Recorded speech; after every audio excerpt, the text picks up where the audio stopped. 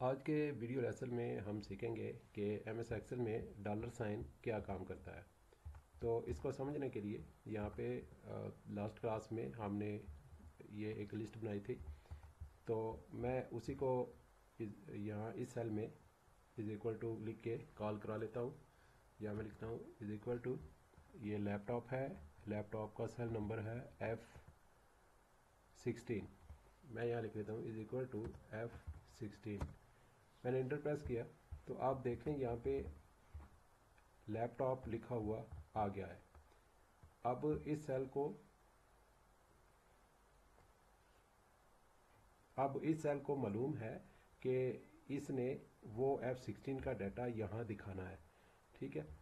Normally क्या होता है कि जब हम यहाँ इस सेल को दाई साइड से नीचे कोने से पकड़ के नीचे की तरफ़ ड्रैग करते हैं रो वाइज तो ये क्योंकि is equal to F sixteen है तो उसने आगे से एफ़ सेवनटीन एफ़ एटीन वो ही डाटा यहाँ दिखा दिया है। अब इसको मैं यहाँ कॉलम वाइज ड्रैग करूँ, इस साइड पे, दाएँ साइड पे। तो आपने देखा उसने खुद से ही एफ़ सिक्सटीन के आगे जी सिक्सटीन के डाटा को यहाँ दिखा दिया है। लेकिन बाज़ होता है कि हम ये नहीं चाहते होते। हम चाहते हैं कि जो डाटा इस सेल में नज़र आ रहा है, ये डाटा फिक्स हो जाए। और हम अगर फार्मूले को कॉपी पेस्ट भी करें तो वो ही डाटा शो होता रहे। तो ऐसी सूरत में क्या करते हैं? हम डॉलर साइन ऐड करते हैं। पहले मैंने क्या किया था? मैंने यहाँ is equal to F sixteen लिखा था तो वो डाटा सामने आ गया था और उसको मैंने ड्रैग किया था तो वो खुद से ही एफ़ सिक्सटीन से एफ़ सेवनटीन पे चला गया था। लेकिन इस दफ़ा मैं इज़ इक्वल टू लिख के डॉलर साइन ऐड करता हूँ एफ़ और आगे फिर डॉलर साइन ऐड करता हूँ, फिर मैं लिखता हूँ सिक्सटीन। अब देखें, अब इसको मैं जब नीचे की तरफ़ ड्रैग करूँगा तो आपने देखा कि कोई चेंज नहीं आया। क्यों?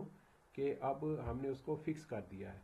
अब F16 का ये जो लैपटॉप वाला सेल है, ये यहाँ पे फिक्स कर दिया है। अब इसको मैं कहीं भी यहाँ से कॉपी करूँ और यहाँ पे मैं पेस्ट कर दूँ तो वहाँ भी वो F16 का फार्मूला ही रहेगा। ठीक है? उम्मीद आपको समझ आ गई होगी। इसको अब इससे लैपटॉप के आगे वाली सेल में यहाँ पे अप्लाई करके देखते हैं। यहाँ हम जी सिक्सटीन की सेल को फिक्स करेंगे। या तो इसको करने के लिए is equal to dollar G dollar sixteen तो जैसे ही मैंने इंटर किया, आपने देखा कि एक लाख पचास हज़ार वाला ये वैल्यू यहाँ पे शो हो रहा है। अब इसको मैं नीचे की तरफ़ ड्रैग करूँगा तो इसमें भी कोई तब्दीली नहीं आएगी। आपने देखा यहाँ नीचे दस हज़ार है, बीस हज़ार है। चूँकि अब हमने डॉलर साइन ऐड किया है तो इसलिए ये फार्मूला यहाँ पे फिक्स हो गया है। इसको अब किसी भी शीट में किसी भी जगह हम पेस्ट करेंगे तो इसमें कोई तब्दीली नहीं आएगी। उम्मीद है आपको समझ आ गई होगी। तो आप इसकी प्रैक्टिस करें और फीडबैक ज़रूर दिया करें। मुझे आपकी फीडबैक्स का इंतज़ार रहता है।